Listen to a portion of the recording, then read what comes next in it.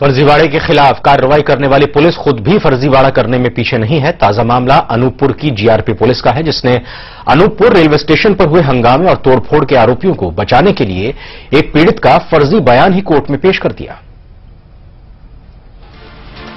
ये युवक प्रकाश तिवारी है, जो 27 अगस्त की रात को अनूपपुर रेलवे स्टेशन पर हुई तोड़फोड़ में अपनी टांग तुड़वा बैठा था।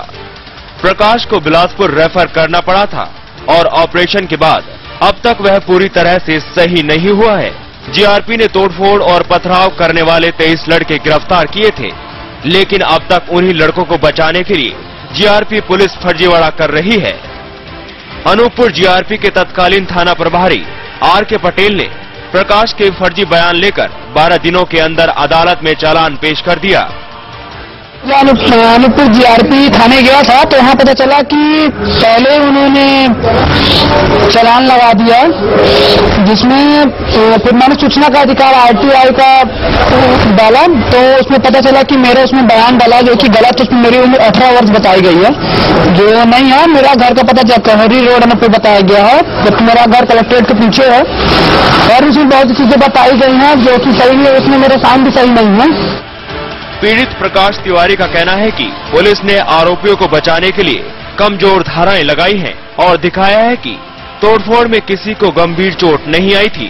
धाराएँ मामली लगी, इसमें जैसा उन्होंने ये दिखाने की कोशिश की कि स्टेशन में मामली तोड़फोड़ हुई और कुछ गंभीर चोट किसी को नहीं आई, जबकि मेरे पाँव में कंपाउंड फ्रैक्चर हुआ। है मेरे पाँव की दोनों हड्डियाँ टूट गई हैं और मेरे को अभी तीन मिनट में बिस्तर पे पड़ा।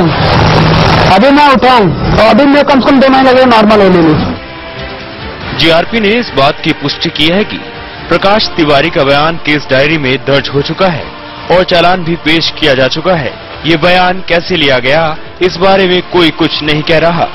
तो हमारे पास जो उपलब्ध अभिलेख है तो मामले की केस डायरी है, उसमें घायल प्रकाश तिवारी का कथन संलग्न है।